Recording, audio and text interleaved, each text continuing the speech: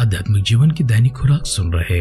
हमारे सारे प्रिय श्रोताओं को, परमेश्वर के प्रिय भक्त गणों को, प्रभु मसीह के नाम में प्यार भरा जय मसीह की सुप्रभातम और सुबोदय कहते हुए, हम सबका मनपसंद ध्यान के अंदर आध्यात्मिक जीवन की दैनिक खुराक में और इस नए दिन में आप सबका स्वागत करते हैं।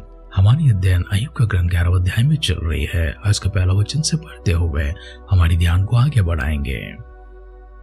तब नामाती सोपर ने कहा, बहुत सी बातें जो कही गई हैं, क्या उनका उत्तर देना ना चाहिए? क्या बकवादी मनुष्य धर्मी ठहराए जाए? क्या तेरे बड़े बोल के कारण लोग चुप रहे? और जब तो टट्टा करता है तो क्या कोई तुझे लज्जित ना करे? तो तो यह कहता है कि मेरा सिद्धांत यह है, मैं ईश्वर की दृष्टि में पवित्र हूँ, परंतु भला हो कि ईश्वर स्वयं बातें करे और तेरे विरुद्ध मुँह खोले। और तुझ बुद्धि की गुप्त बातें प्रकट करे कि उनका मर्म तेरी बुद्धि से बढ़कर है। इसलिए जान ले कि ईश्वर तेरे अधर्म से बहुत कुछ भूल जाता है। क्या तू तो ईश्वर का घोर भेद पा सकता है और क्या तू तो सर्वशक्तिमान का मर्म पूरी रीति से जान सकता है? वह आकाश से ऊँचा है तो क्या कर सकता है? वह अधलोक से गहरा है तो कहाँ समझ सकता है? उसकी माँ पृथ्वी से भी लंबी है और समुद्र से चौड़ी है। जब ईश्वर बीच से गुजर कर बंद कर दे और अदालत में बुलाए तो कौन उसको रोक सकता है? क्योंकि वह पाखंडी मनुष्यों का भेद जानता है और अनंत काम को बिना सोच विचार किए भी जान लेता है। परंतु मनुष्य चूचा और निर्बुद्धि होता है, क्योंकि मनुष्य जन्म ही से जंगली गधे के बच्चे के समान होता है। यदि तो अपना मन शुद्ध करे और ईश्वर की ओर अपनी हाथ फैलाए और जो कोई अनर्थ का काम तुझसे होता है और अपने डेरों में कोई कुटिलता ना रहने दे तब तो, तो निश्चय अपना मुँह निष्कलंक दिखा सकेगा और तो स्थिर होकर कभी ना डरेगा। तब तो अपना दुख भूल जाएगा तो उससे पानी के समान स्मरण करेगा जो बह गया हो और तेरी जीवन दोपहर से भी अधिक प्रकाशमान होगा और चाहे अंधेरा भी हो तो भी वह बोर सा हो जाएगा और तुझे आशा होगी इस कारण तो निर्भय रहेगा। और अपने चारों ओर देख देख कर तो निर्भय विश्राम कर सकेगा। और जब तू लेटेगा तो कोई तुझे डराएगा नहीं, और बहुत देर तुझे प्रसन्न करने का यत्न करेंगे। पर तो दुष्ट लोगों की आँखें रह जाएँगी, और उन्हें कोई स्मरण स्थान नहीं मिलेगा, और उनकी आशा यही होगी कि प्राण निकला जाए। अयुब का ग्रंथ ग्यारह अध्याय का पहला वचन से लेकर आखिरी वचन तक हमने पढ़कर सुना है। अयुब ने जितनी भी बातें कही हैं, उन सारी बातों को उसका मित्र अभी जवाब देने के लिए उठ खड़ा हो जाता है। तीन मित्रों में से नामाती सफ़र की बातों को हमने अभी तक पढ़कर सुना है। अयुब जब अपने आप को धर्मी ठहराने की अभी भी कोशिश कर रहा है तो सफ़र को गुस्सा आ जाता है और अपने क्रोध में वो कहने लगता है, जब इतनी सारी बातें कही गई हैं तो क्या उसका उत्तर देना उचित नहीं होगा? क्या बकवादी मनुष्य कभी धर्मी ठहराया जा सकता है? इसलिए मैं बोलने के लिए खड़ा होता हूँ हो और ये मेरा समय है बोलने का। और अयुब से वो संभाल करने लगता है क्या तेरे बड़े बोल के कारण लोग चुप रहेंगे? और जब तो टट्टा करता है तो क्या कोई तुझे लज्जित ना कर रहे?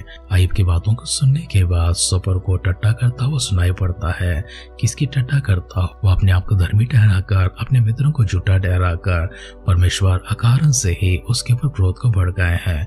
परमेश्वर अकारण से ही उसके ऊपर मुकदमा को चला रहे हैं।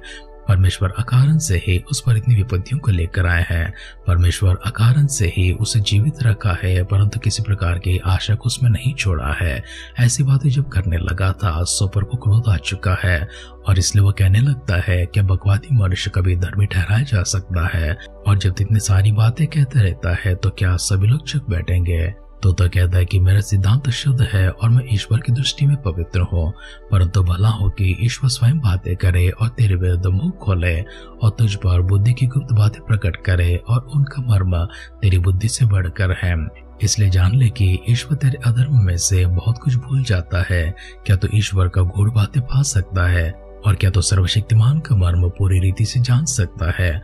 वह ताका से भी ऊँचा है तो क्या कर सकता है? वह अधलोक से भी गहरा है तो क्या समझ सकता है? इतने सारे सवाल पूछने के बाद बिल्दक की तरह हिस्सों पर भी कहने लगता है, यदि तो अपने आप को धर्मी ठहराना बंद करके तो अपने दोष को, अपने अपराध को परमेश्वर के सामने रखेगा। जो कुछ तूने किया है, उसका कबूल करेगा, उसे स्वीकार करेगा। और जो कुछ भी तू अपने आप में और भी धर्मी ठहराने के लिए कुछ और कारणों को ढूंढता है, उस प्रयास को तू छोड़कर परमेश्वर के सामने जाकर अपने आप का समर्पण करेगा। और परमेश्वर जो मनुष्यों का स नहीं है, परंतु वो तो ईश्वरों का भी ईश्वर है, वो तो परमेश्वर है तो उसकी अनुमान के आधार पर जब वो जांचता है तो उसे कौन सवाल खड़ा कर सकता है? वो जब कचहरी में बुलाता है तो उसे कौन रोक सकता है?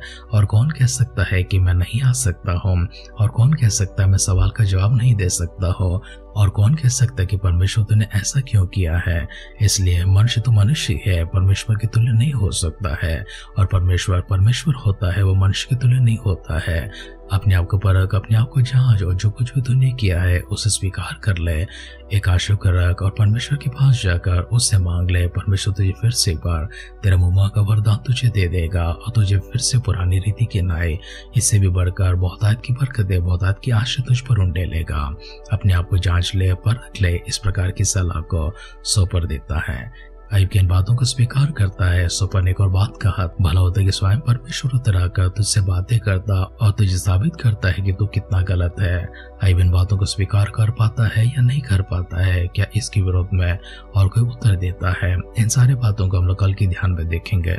लेकिन आइए आज अपने आप को फिर से एक बार परमेश्वर के हाथों में समर्पण करते हुए सिरों को झुकाएँगे, आँखों को बंद करेंगे।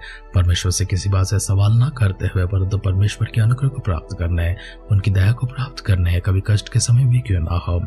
सब कुछ मौन होकर परमेश्वर की महिमा करता हुआ परमेश्वर ने दिया है और परमेश्वर ने ही ले लिया है। ऐसे समर्पण की बातें करने के लिए आइए सिरों को झुकाएँगे, आँखों को बंद करेंगे, छोटी सी प्रार्थना करेंगे। पिता हम फिर से एक बार आपकी स्तुति करते हैं, प्रशंसा करते हैं, महिमा करते हैं। गौरव, आदर, सम्मान के साथ प्रभु आपके भक्तगणों को अपने आप को परमेश्वर आपकी नज़रों में लेकर आते हैं। हम सबों के वो परमेश्वर अपने उंडेले हुए सारी आशीर्वादों के लिए, बरकतों के लिए, उपकारों के लिए परमेश्वर शुक्र अदा करते हैं। हमसे परमेश्वर जो आपने अपने वचनों के माध्यम से बातें की है, इसी प्रकार से हम अपने ज़ुबान को प्रभु, अपने मनों को काबू में रखने के लिए हम किसी प्रकार से परमेश्वर, कोई प्रकार की अपशब्द परमेश्वर आपके विरोध में ना कहे। इसके लिए प्रभु जी, हमेशा हम अपने काबू में, अपने आप को रखने के लिए पवित्र आत्मा का अगुवाई, अभिषेक और सावध हमारे पर लेने के लिए दुआ करते हैं। प्रभु मसीह के बादलों के आगमन अगर विलंब होगी। कल सुबह फिर से एक बार हम मिलकर आपकी स्तुति करने, आराधना करने, हम सबों को सजीवों की संख्या में, भाग्यवानों की संख्या में संभाले रखिए। अगर ऐसे तो प्रभु के राजवान सबको शामिल करने के लिए प्रार्थना करते हैं। पिता, आपने हमारी सारी प्रार्थनाओं को सुनकर हमें दिए उत्तर के लिए धन्यवाद करते हुए हमारे उद्धार करता हमारे प्रभु यीशु मसीह के नाम से इस प्रार्थना को मांगते हैं। सुन और कबल कर पिता। आमेन आमेन आमेन। परमेश्वर की धन्यताओं को प्राप्त करने, परमेश्वर के आशीर्वादों को भी प्राप्त करता हुआ, हम सब शांत मन को भी प्राप्त करता हुआ, एक निश्चिंत और निडर जीवन भी हम सब प्राप्त करने हैं। तो परमेश्वर के अभिषेक हमेशा हमारे ऊपर लेने के लिए हम निरंतर दुआ करते रहेंगे, निरंतर परमेश्वर से मांगते रहेंगे और परमेश्वर भी अपनी करुणा के आधार पर, अपनी दया के अनुसार हम सबों को हमारा मुबां को वरदान प्रदान करते रहे। हमारी से दुआ कामना के साथ आज के ध्यान पर समाप्त करते हैं। आप सुनते रहिए, सुनाते रहिए आध्यात्मिक जीवन की दैनिक खुराक, कल फिर मिलेंगे। अपना ख्याल रखिए, अपनों का ख्याल रखिए, दूसरों का भी ख्याल रखिए। God bless you